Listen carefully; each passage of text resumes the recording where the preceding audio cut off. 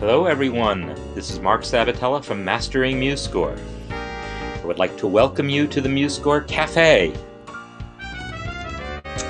So, according to my uh, my um, phone here, it is April 13th, uh, 2022, and uh, this is my regular weekly series where we talk about some aspect of making music with MuseScore and um, usually pick some topic to talk about and go on about that topic and take some questions along the way.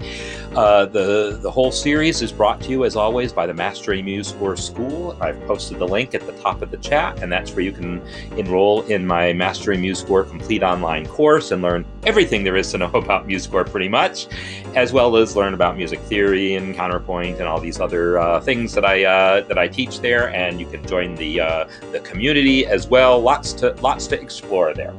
So today's topic is going to be about making things smaller. That is that is my goal because it's a it's a recurring topic that comes up.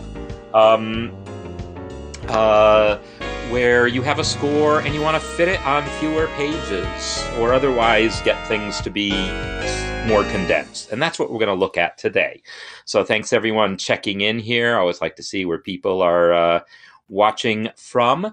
And um, yeah, that's always uh, an interesting thing to me, especially as I consider times, as I like think about planning any new events um, thinking about what times tend to work best. And I know we have a lot of people in the United States. We also have a lot of people in Europe. And occasionally we have someone coming in from Australia or New Zealand or Asia where it's like the really early in the morning, like it is uh, it is for Rod right now. So I'm always uh, always uh, happy to see when you're able to, to join us here.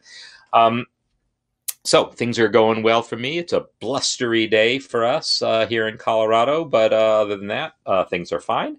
So um, yeah, I want to talk about this idea of making things uh, smaller, and not just making them smaller, but making them fit in particular ways, because it's it's uh, something that a lot of people uh, struggle with, and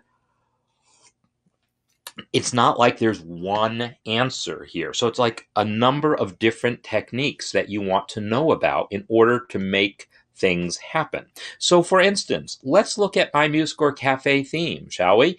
Um, the, the music here, um, I have it, let me uh, shrink it down a little bit more so we can really see what's going on here. So one thing that I've done, and um, I think I'm going to close the inspector for now, uh, and then we'll we'll get that back later. Let me close the play, play panel and close the inspector. So I have set up this score to be horizontal, to be landscape format.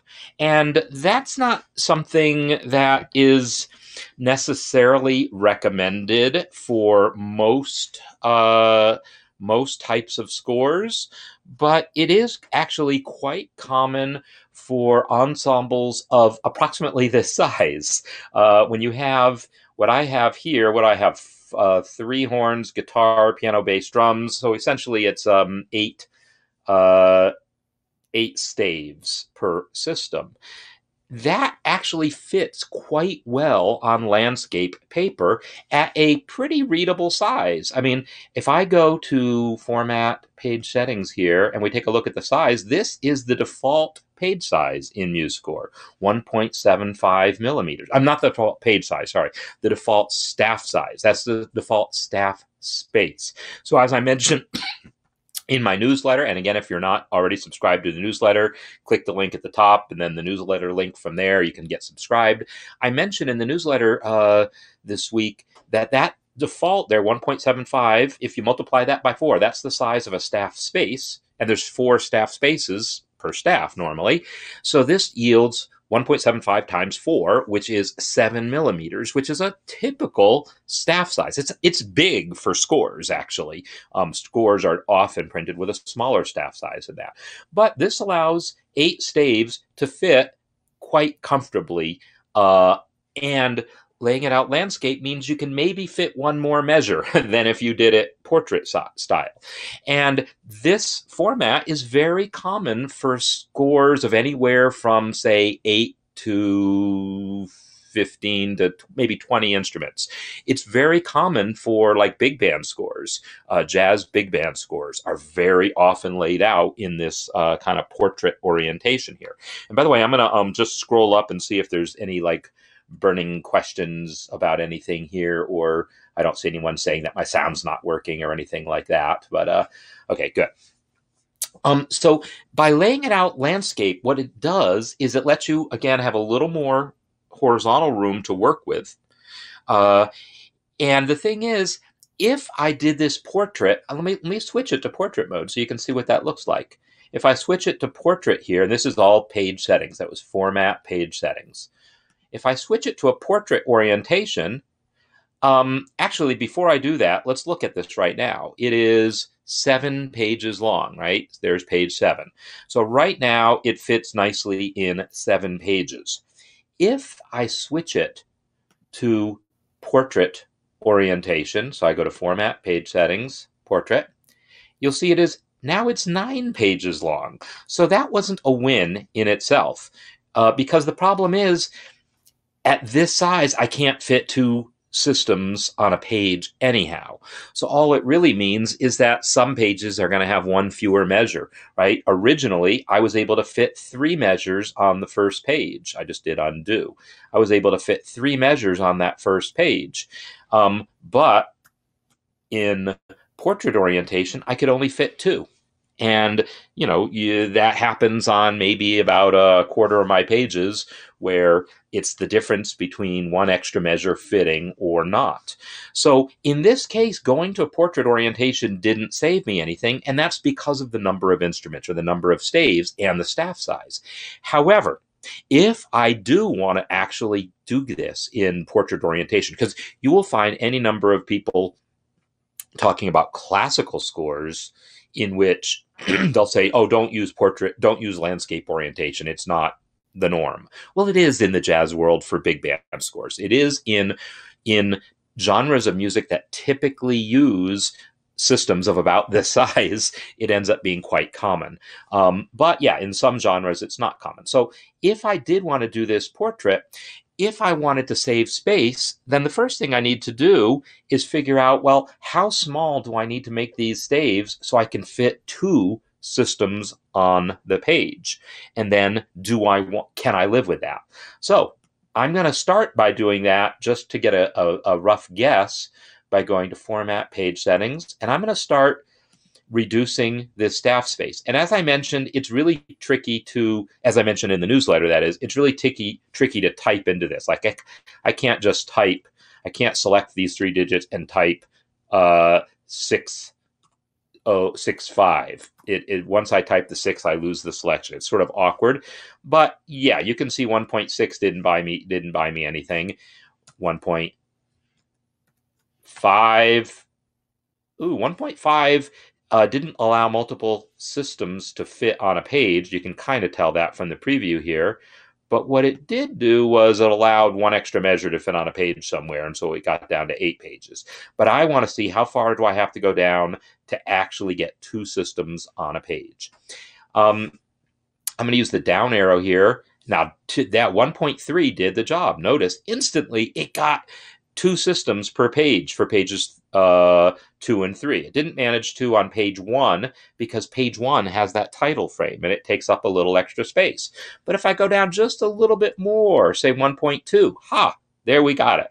How about 1.25? Yeah, 1.25. And since I like ni- nice round numbers, I'm going to stop there for now. So simply by going to a paid a, a staff size of 1.25 millimeters, I was able to fit two systems on a page. That then, in turn, allowed me to uh, to get way down, right from from seven pages that I started with in portrait to nine pages, which is where I was. I mean, nine seven seven pages what it was landscape, nine pages is what it was portrait, but now it's down to only three pages. So simply by reducing the staff size, I made that work. Now the question is, can you live with a staff size of 1.25 millimeters? Well, let's do the math on this. 1.25 millimeters times 4 is five millimeters, and hence why I like my round numbers. I was able to do that in my head. Five millimeters for a staff size is, and I'm going to go grab my copy of uh, Behind Bars, which I was looking at a minute ago or a day ago. Give me one second, and I will be right back.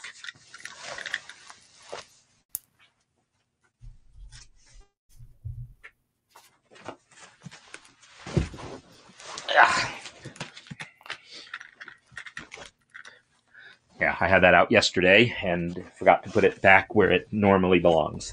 So, um, uh, one, so five millimeters as a staff size is, um, you know, that's smaller than the seven that we started with, but that seven millimeters is for individual musicians needing to read their parts. And the question is, well, is that really so important for a score? Because yes, the conductor, if there is one, needs to read the score, but do they need to read every note while they're performing it? No, they just need an overview, big picture. So it's actually quite common for scores to have much smaller staff sizes than uh, parts do. And so I'm just looking to see uh, where uh, Elaine Gould, the author of um, author of uh, Behind Bars, what her recommendations are for staff size in the actual score. And, um, you know, I don't see a specific heading in the chapter, but I do see page layout 520. So I'm just going to take a quick look, to see if she gives a size. I don't see a size in millimeters given here. Maybe someone else who has a copy of this can can float around, you know, can can search around a little bit more to see if you see um, any. Oh, staff sizes. An orchestral score uses the same staff size for all performers. Uh, page five ninety seven references page 597. But so the thing is that for parts, staff size. Yeah, it's also talking about cues, so that's not a, that useful. All right, so I I say that that's fine. I, I think that five millimeter staff for the score itself is probably fine. I will give you another reference because this is a good reference to know about. Um, if I go to um, uh, let's see, what is it called? It's um the uh, MOLA. MOLA is the Major Orchestra Librarians Association. Actually, they've sort of rebranded what it stands for, but uh, it still is Major Orchestra Librarians Association, right? Um, so these guidelines here are ones that are pretty commonly uh, quoted uh, when people are looking for, you know, advice on sizes of things, but not just sizes. There's all there's other things in these guidelines. So this is like a good companion to Behind Bars. So I'm gonna post. Well, I can't post that link. I, I gotta post the guidelines for music preparation. Copy link address. I'm gonna post this in here. MOLA guidelines. Ah.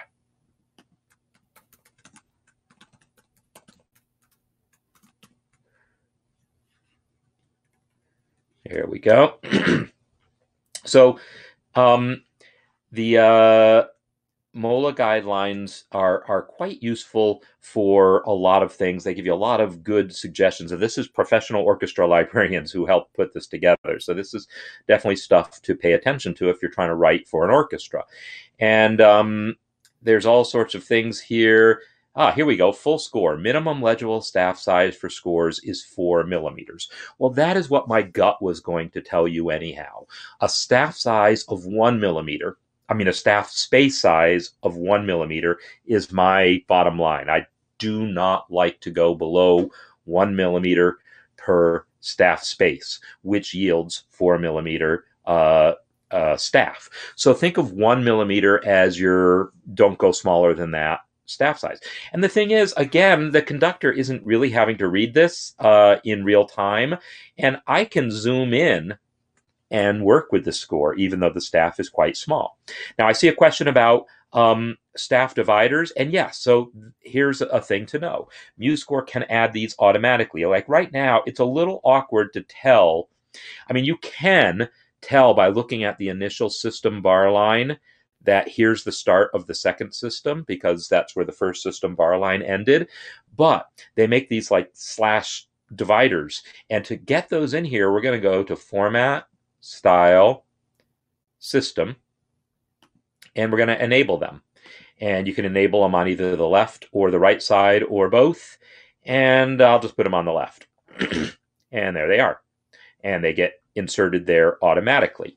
So inserting those dividers there helps when when you do have multiple systems per page it helps especially if you do i also saw a comment about a condensed score and that word can mean different things um, uh, Jim, you're probably meaning it the same way that I would mean it, which is a condensed score is one that. So some people use that to mean like, oh, we're going to put the trumpet and alto on a single staff because they're similar enough. We can share some space that way. Well, that requires work, right? But because uh, you have to actually copy and paste and decide how you want that to work in terms of multiple voices, etc. But what's also quite common is just to hide empty stave. So if there's a staff if there's a part that's not playing for a whole page, to just omit that staff. And if you don't already know about that, that's format, style, and then you go to uh, score, and right here, hide empty staves. I don't think it's going to do anything because none of these instruments stop playing for a while. But if, for instance, uh, I eliminated this little hit um, there at the end of the vamp if I delete that measure, watch what happens. When I delete that measure, let me, let me do that zoomed in a little more. This page here, you see it's got trumpet, alto, trombone, guitar, piano, bass, drums. Um, but the horns are only playing for that one measure. If I, I this time I'm not even going to delete it. I'm just going to hit enter here to put a page break. I mean, put a line break right uh, after this measure so that these two measures will be by themselves on that system. And when I do that, notice the trumpet and trombone and alto went away because they're empty. So that allowed uh, this system to get smaller. And luckily, there was room for that measure on the next system. So that's something you can totally do is use hide empty staves to save space in your score. And many of you are probably already doing that, but that's absolutely a thing that you would want to do if you have any concerns with how many systems you can fit per page.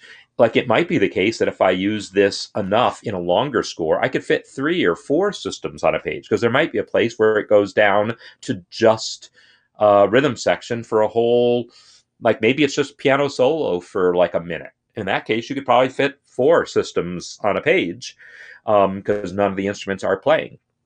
So definitely using that hide empty staves is an important uh, consideration, an important way to give you more systems per page. In this case, it didn't really buy me anything because I already had only two systems per page. Hiding the empty staves didn't change that. It's still two systems on that page. So I'm going to undo that change there. Um, but I want to talk about how I could possibly make the staff size a little bigger and still manage to fit two systems on this page. So look at this page here. Um, if I look at this page, there is an it's fitting um, two systems on it, but you can tell like the trumpet and alto are able to be pretty close together on the second system, but they're further apart on the first system. Why is that? Well, it's because of this dy these dynamic markings if I push these dynamic markings up a little bit, and I will just use, uh, actually, I think I have to because dynamic markings work special because they're kind of tied to hairpins. Um, let me reset that and redo this. I'm going to move the hairpin and the dynamics will move with it. So I'm going to move the hairpin up and the dynamics moved only partially. Um, that's okay. I can do that manually. Come on. Click. Click you. You're clicked. And the problem is it is trying to align these things, so I might have to turn off automatic placement for, uh, actually, I don't want to turn it off. So, okay, I'm, there are certain frustrations with trying to get your dynamics and your hairpins all uh, correctly aligned where you want them. So sometimes there is a little trial and error here, but I am going to go ahead and move that up, and I'm going to see if I can move this dynamic marking up here. And I might have to make this minimum distance smaller. All right, I am failing big time. So I do have to do this the manual way. So I'm going to reset all of those things. And it, it is it is nice when I get to like see some things that don't work as as as nicely as I would want. But if I disable automatic placement for all three of these elements, disable auto place, you notice now that it allowed the staves to come uh, closer together, but it it did that at the expense of some collision. So I'm going to have to fix things manually, but now I can do things like move this dynamic up in there and move this hairpin up here and move this dynamic up there. So this kind of fine tuning of your positioning of things to allow you to reclaim some space it might turn out that that is then just enough to allow you to use a bigger staff size. Like look over here. That was a particularly gnarly example because the, the hairpin also and the slur, but I managed to get it done, right?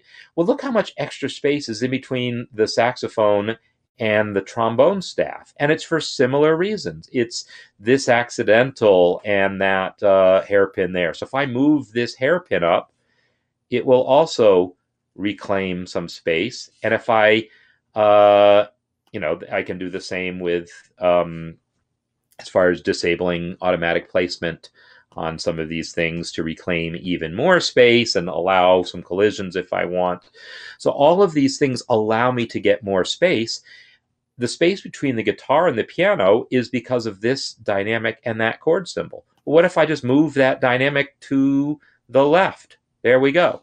By moving that dynamic to the left, it allowed some space to be reclaimed. So, one of the things that I do when I'm trying to reclaim space is I will first get a staff space size that gets me close. It, it fits what I think I want on the system, uh, you know, how many systems I want on a page. But then if I'm like, yeah, but this is smaller than I want, then I'll start playing these games with the uh, position of these dynamic markings so that I can reclaim a little space and then I'll see if I can crank the size up a little bit more. So like if I go to format page settings now, maybe I'll find that at 1.3 I can still fit two systems on that first page. Remember I couldn't before at 1.3, but because I've adjusted by dynamics, now I can. So MuseScore is going to try to allocate extra space to avoid collisions, but it does it in a, I won't say a dumb way, but it does it in a way that will waste space. And so if you want to conserve space, you might have to use your own judgment in moving things side to side, moving some things up a little higher than they normally, a little closer to the staff than they normally would want to go, just to allow two staves to come closer together. So that's um, kind of a set of optimizations that uh, I often perform uh, when I'm trying to uh, fit some music.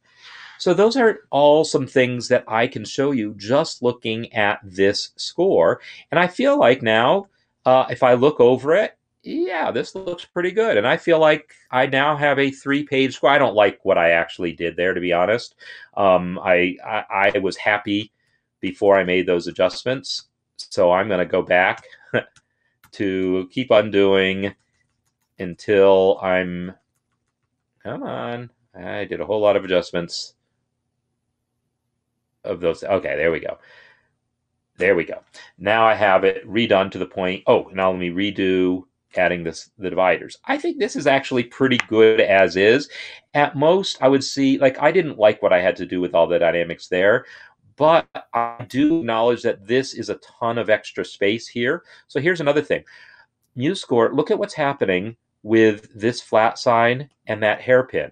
MuseScore is trying to make sure they don't collide, but it's being overly generous. And the and the reason for this is the the collision avoidance algorithm doesn't understand the shape of a hairpin. It draws a rectangle around that hairpin and then tries to make sure that this flat line doesn't touch that rectangle. But as you can see, that means there's all this extra wasted space. So I can actually close up that wasted space without causing any collisions or anything, you know, or at least in principle I could. And the way I'm going to do that is by adding a spacer. So I'm going to go to the breaks and spacers palette and use this guy here, the fixed spacer.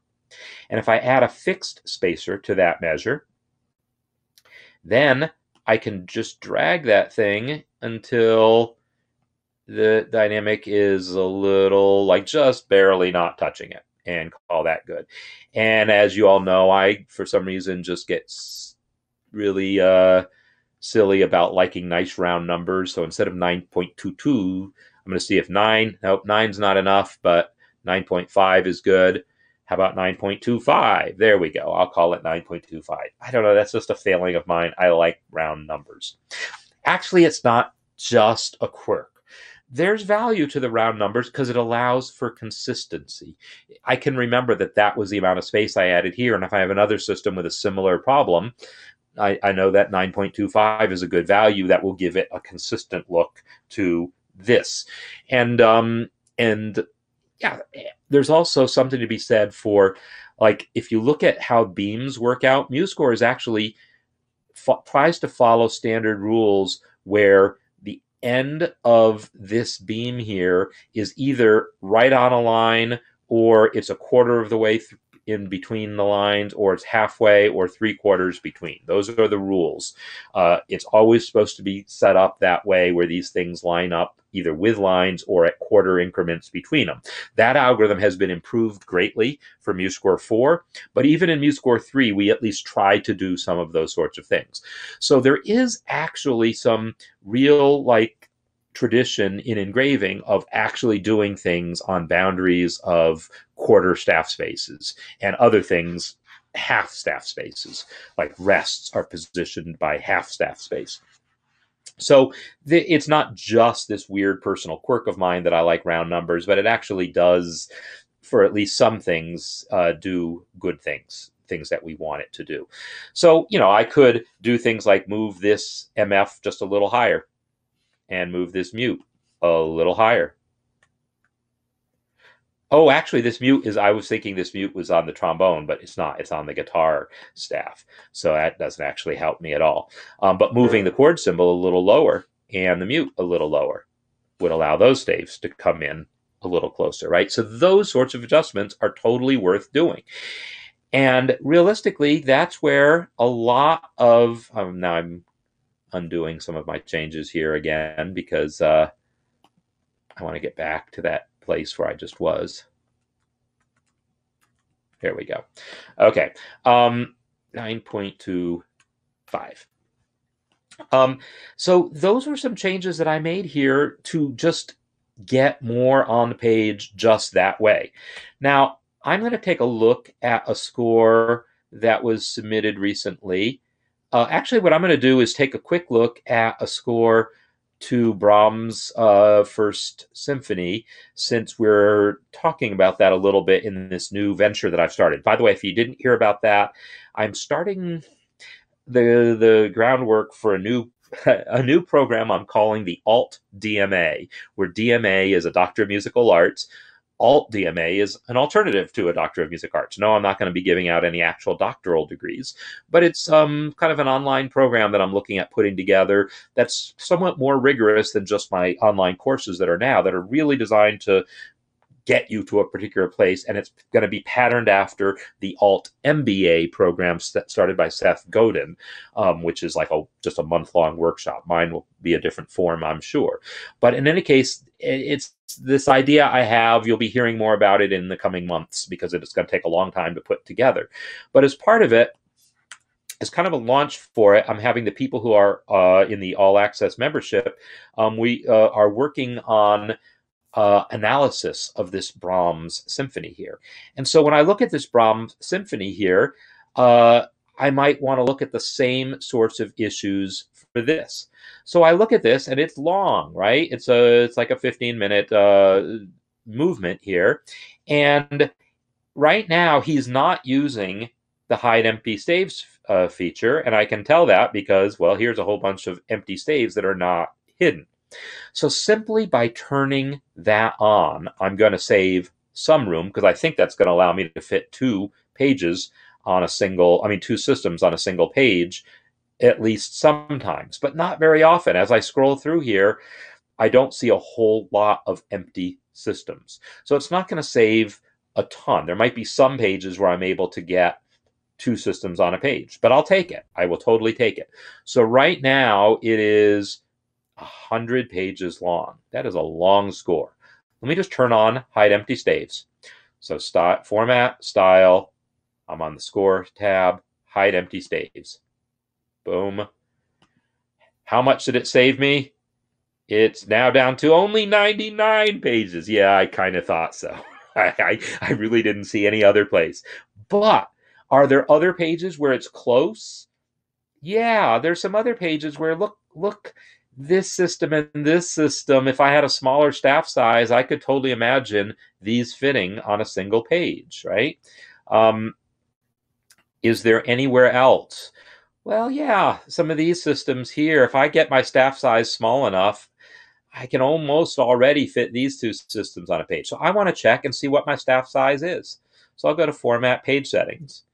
And his staff setting, his his uh, staff space is the old MuseScore default of 1.764. This was the default up until maybe a year or two ago. And this is one that um, it was i just uh, posted something in the community about this. This staff size is based on uh, old you know pre-metric uh, numbers where you had points and picas right? A point is 1 72nd of an inch. And a staff a typical staff size was 20 points 20 70 seconds of an inch so if 20 70 seconds of an inch is your staff size, divide that by four, 5 70 seconds is your staff space size. And that's what this number is. This is 5 70 seconds of an inch. So this was back in the day a common staff size. But even if I just reduced it down to 1.75, that might save some space already. That might allow somewhere else something to fit. Uh, looks like maybe not. Um, but what if I go down to 1.25, that five millimeter staff size? Oh, I bet this did. I bet this did something. Look at that. We went down from 99 pages to just 62 pages. So that bought quite a lot. Um, and then I could say, well, what if I go down all the way to just uh, one millimeter, which is the four the four um, four millimeter staff size. If I go down there, I am down to only 35 pages. Heck yeah, I am doing it. I am totally doing it. So I'm down to only 35 pages now. When I do this, uh, you have a lot of wasted space, right, on the bottom of some pages. And I'll talk about that in a second, but I do want to see because there's been some other some other comments uh, here just the height of the slurs. Oh yeah, Dean, that was absolutely right. So in that little the stuff I was doing with the, the cafe here, you know, if I wanted to try to save a little space between these two, I could flatten this this slur here. Flatten it or just move it down a little bit. Just move it a little closer to the notes and that saves a little space right? So there's there's say some space saved right there as well. So the problem with making the small staff size in um, in a score like this is between that and hiding empty staves now we still have some situations where we almost but can't we almost but can't quite fit two systems on a page and there's a lot of wasted space as a result. So here's where we start to need to get a little more creative. Um, what I'm going to do is the first thing I want to do is because I saw that his staff space size was set to 1.764, that tells me that he started this on in an older version of MuseScore, perhaps with a template. Maybe he did it in a new version, but the template was from an older version. I want to turn on an option that only became available in 3.6 and later, and that's format, style, page, enable vertical justification of staves. Um, this is on by default for new scores, and sometimes people don't like what it does by default and just turn it off rather than understanding what it's doing and how to work with it. But here's a case where we definitely want it. So let me show you what it does. It is not going to change anything about how many measures fit on a system or how many systems fit on a page. Well, it might accidentally change that a little bit. But mostly what it's going to do is going to allow these under full pages like this to fill up. It's going to automatically stretch out those staves. And if it doesn't, then there's parameters I can tweak to make that happen. So let me turn it on and boom, it actually did more than that. It did allow multiple systems to fit. So let me talk about why that happened. This is an important thing to realize here. Let's look at this uh, score for a second. In this score here, you'll see there's places like between the contrabassoon and the horn where there's plenty of space, right? Plenty of space between those. And then there's maybe other places where you really couldn't reasonably close stuff up more. Like between the bass clarinet and the bassoon, we don't have a lot of room to work with. Otherwise, this A2 is going to hit the, the fortissimo there, right? So there's not a lot of room to close up the space between the bass clarinet and the bassoon. Um, yet there's all this extra space between the contrabassoon and the horn that we don't need. That's because the defaults in MuseScore used to be very conservative. They wanted, they would say, well, let's just make sure there's a reasonable amount of space between every staff, probably more than you need most of the time. And then, yes, if we need more, it will create more. So like if this measure here, if I transpose it down an octave or two, notice that added more space, right? It as I transposed these notes down an octave, it added more space between the bass clarinet and bassoon staff. So we start off with a pretty conservative amount of space, like more than we probably think is necessary, because we wanted it to be balanced overall. But we weren't smart about being able to add space even where it wasn't needed. We only added space where it was absolutely needed.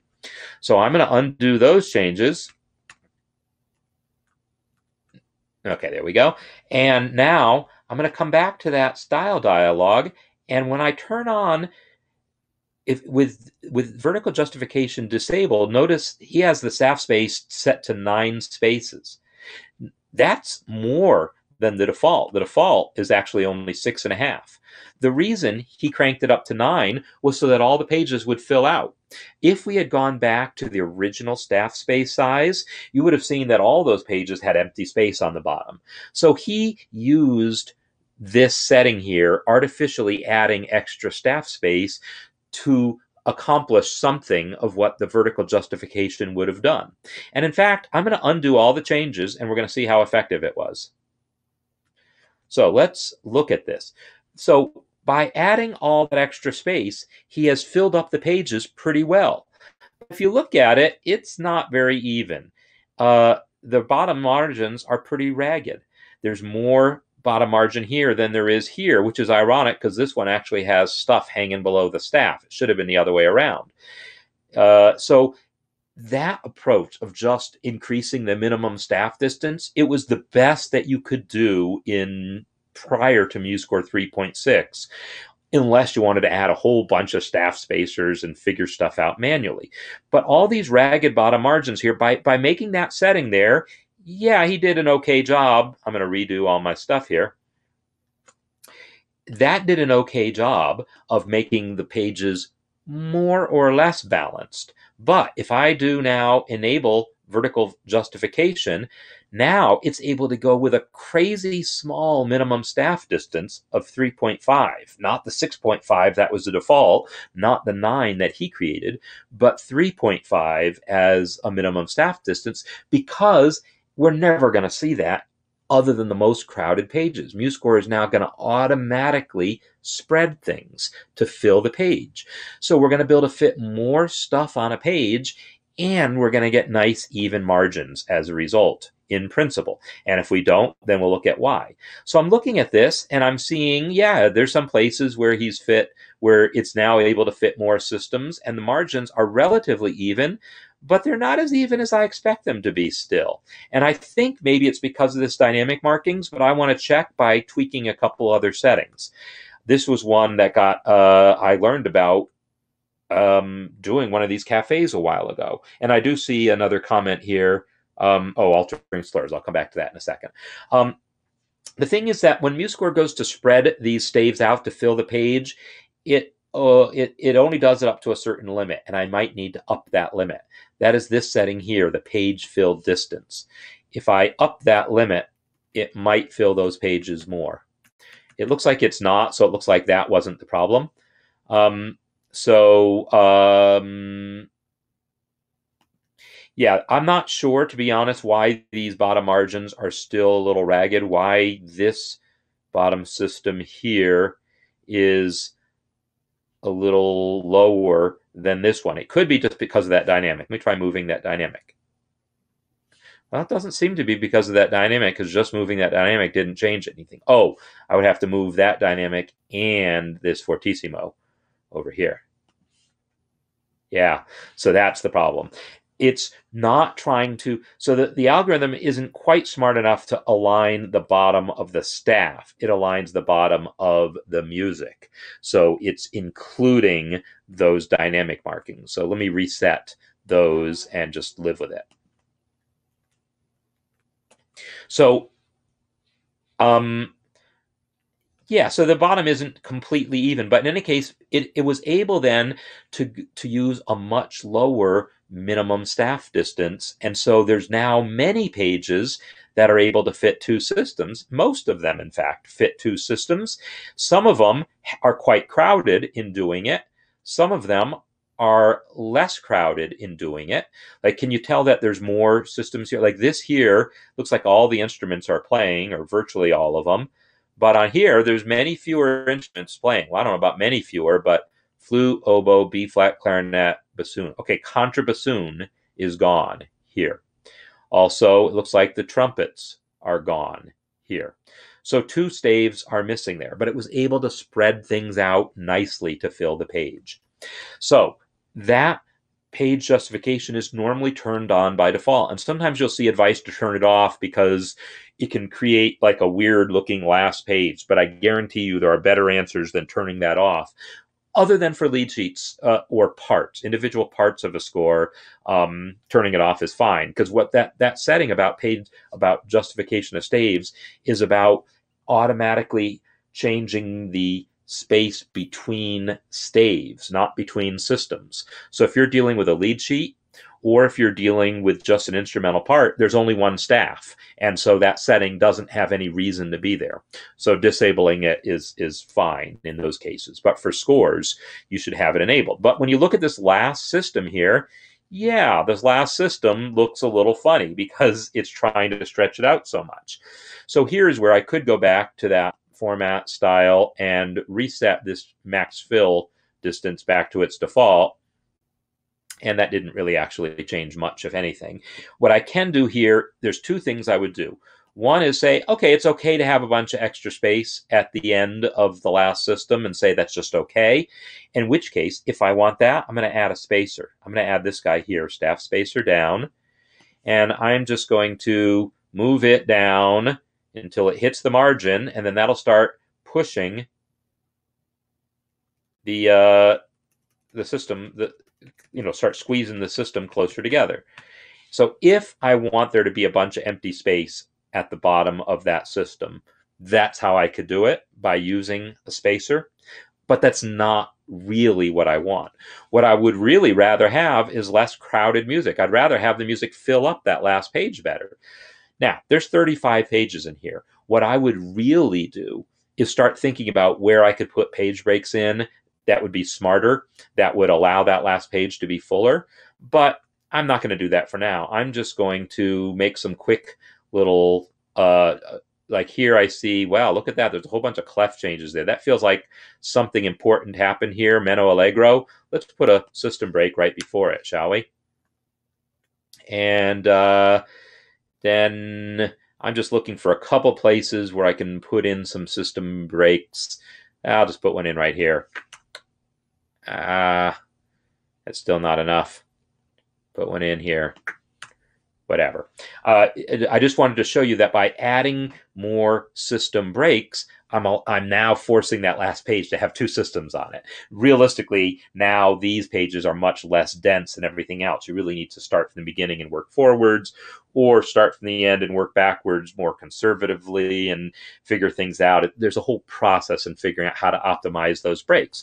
And realistically, figuring out where the page breaks go is super important important for the parts because the violin player they're both their hands are busy they can't be turning pages while they're playing so you have to optimize where you put your page turns for the violin parts or any of the wind instrument any of the instrument parts really you have to optimize the page turns to not be while people are playing to do it while they're resting um, if at all possible but for the conductor score that's just not so important so um, if you alter the slurs, um, it's no longer the default. So yeah, I'm I'm uh, I I knew I wanted to come back to that, but Maureen, I'm not totally sure what you're what you're saying. But when I altered the slur here, all I did was moved it closer. If I reset it, I'm still keeping the default shape of it. I'm just moving it closer. So I just use down arrow to move it. Oh, actually, when I moved down arrow, it flattened it because I selected uh, that handle. I didn't mean that. I didn't want to flatten it. I wanted to select this handle and move it down, which moves it, um, just moves it closer. So I'm still letting MuseScore shape the slur for me because if I start using these other handles to shape the slur, you can totally do that. You can eh, shape the slur however you want. Um, there's a good chance that it's going to look terrible. I can't draw a nice circle and I can't shape a nice slur. So I usually let MuseScore shape the things for me, um, but I do move them closer when I think I can. The slur algorithm has indeed been improved for MuseScore 4. So for MuseScore 4, um, the slurs will just generally attach better. It will do a better job of avoiding some things that it doesn't currently avoid. Ties won't collide with accidentals. That was actually the starting point for that. Because right now you can get situation where ties collide with accidentals, and it uh, doesn't look very good. Um, like if I had, um, actually not just accidentals. Let me, let me change this F to a G here. Oh, that one worked. Let's change the C to an F. There we go. There's a mess, right? This looks pretty ugly. Um, so MuseScore 4, that won't look so ugly. So let me do undo all those changes and uh, maybe undo some of my slur changes. Let me just reset that slur. I don't know why I want to reset that thing just in case I accidentally save it. I don't want to have a bunch of weird manual adjustments in it. So um, anyhow, these things that I'm doing, this is the stuff. This is what it's all about. Notice the thing that I have not done that some of you may be aware of is playing with stretch.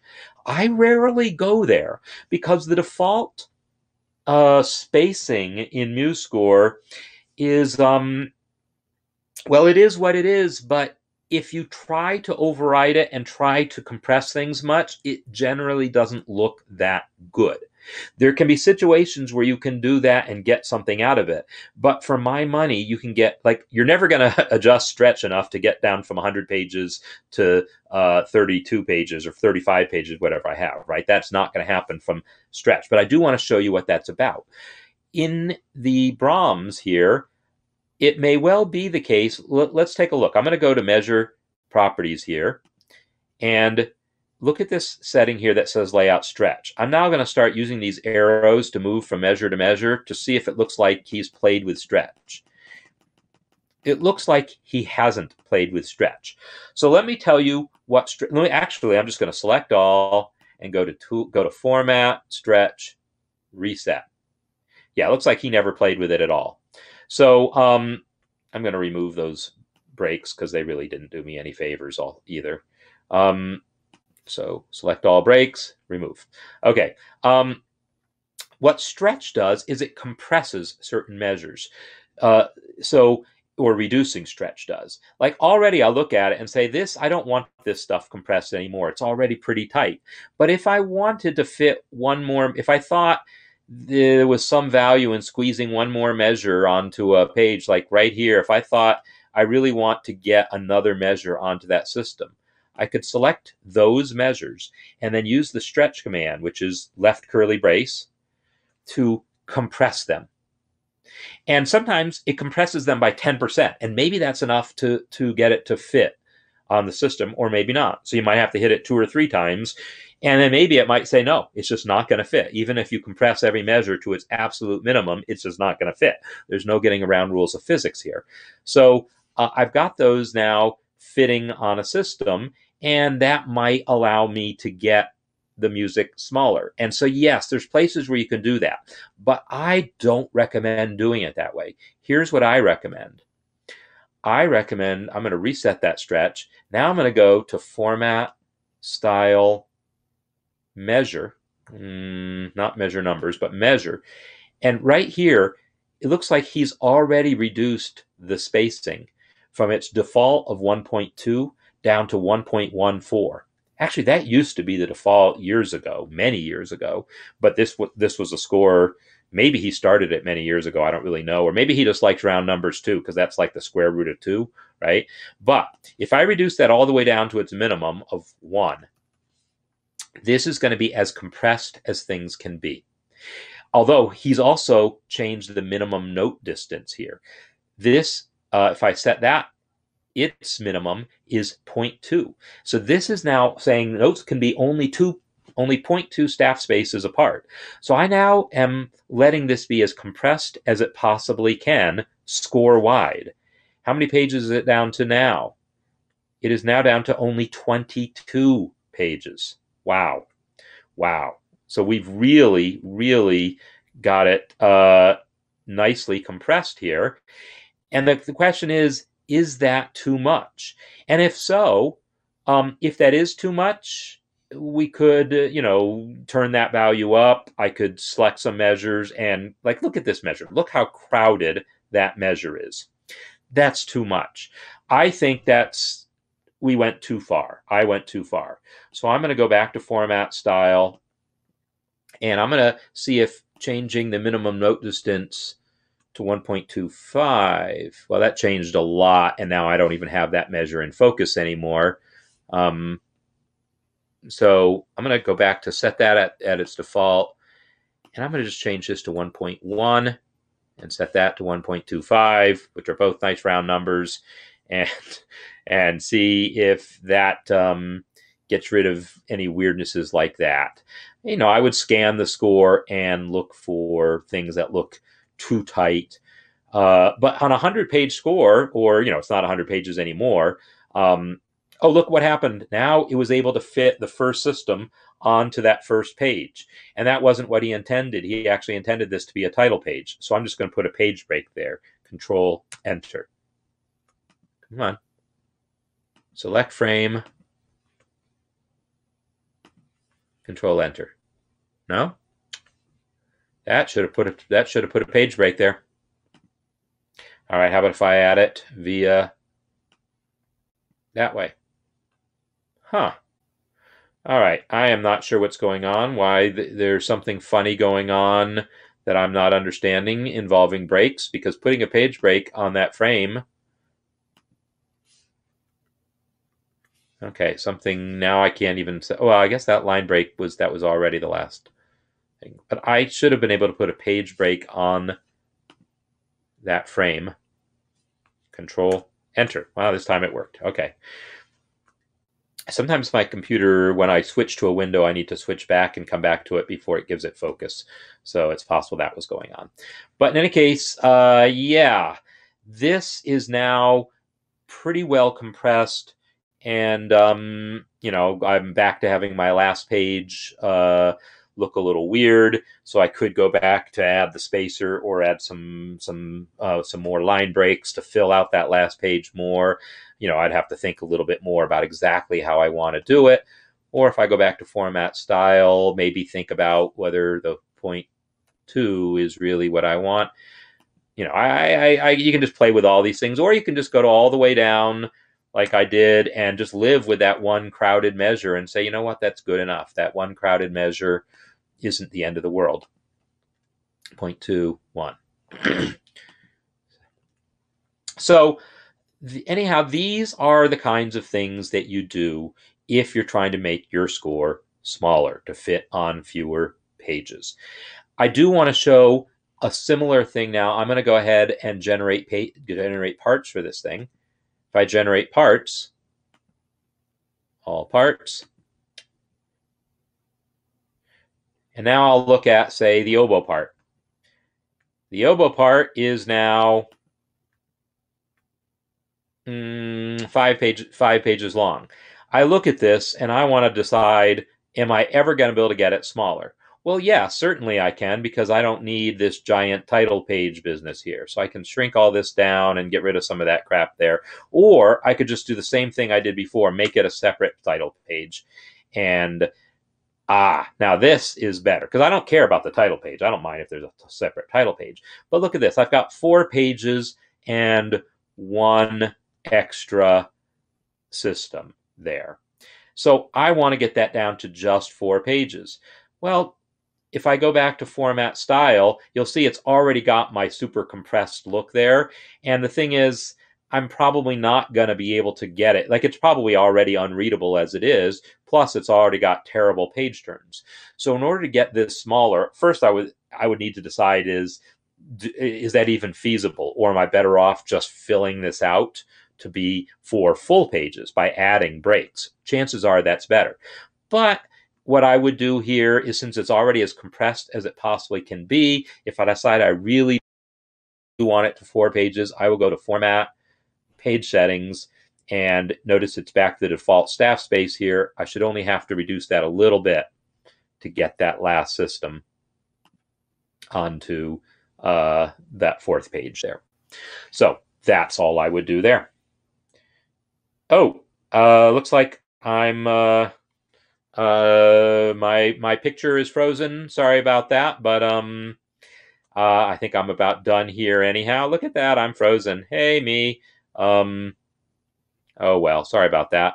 Um, but that's uh, that's life. In any case, uh, I uh, hope that you've enjoyed this kind of tour of all the different things that I might do.